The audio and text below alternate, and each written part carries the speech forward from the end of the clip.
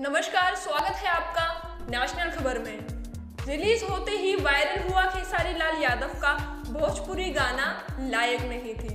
मिले लाखों व्यूज़ भोजपुरी के सुपरस्टार खेसारी लाल यादव फिर से अपना जलवा बिखेरने के लिए आ गए हैं। उनका नया गाना रिलीज़ हुआ है। इस गाने का नाम है लायक नहीं थी। इस सुपरहिट गाने को बहुत अच्छा रिस्पांस भी मिल रहा है। भोजपुरी दर्शकों के लिए खेसारी लाल यादव का गाना रिलीज़ होना किसी तोहफे से कम नहीं है। खेसारी के इस गाने को लोगों का खूब प्यार मिल रहा है। खेसारी लाल यादव अपने अंदाज और ज़बरदस्त डांस के लिए जाने जाते हैं। उनके स्टाइल सारे भोजपुरी सुपरस्टार से अलग है।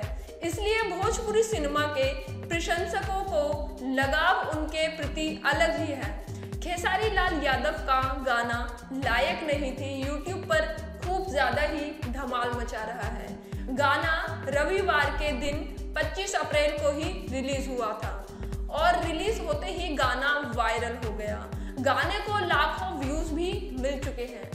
आपको बता दें कि ये एक ऑडियो सॉन्ग है, जिसमें गाने से जुड़ी फ़ोटोज़ नज़र आ रही हैं।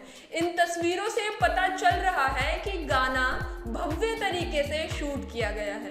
गाने में खेसारी की एक्ट्रेस बहुत ज़्यादा ही हॉट अंदाज में नज़र आ रही हैं। खेसारी लाल यादव का साथ इस गाने में अंतरा सिंह प्रियंका ने दिया है, जो भोजपुरी सिनेमा की जानी मानी सिंगर हैं।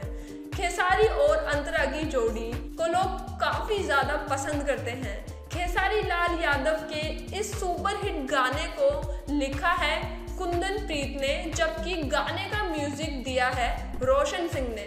इस गाने के वीडियो डायरेक्टर पंकज सोनी है। तो देखते हैं कि खेसारी लाल यादव का जो ये गाना है और कितना ज़्यादा यूट्यूब पर धमाल मचाता है।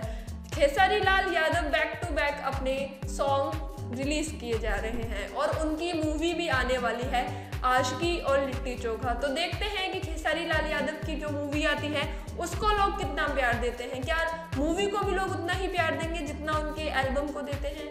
तो इसी तरह की और अन्य जानकारियों के लिए जुड़े रहे हमारे साथ। हमारे चैनल को सब्सक्राइब करना ना भूलें और दोस्तों के साथ भी शेयर करें। धन्यवाद।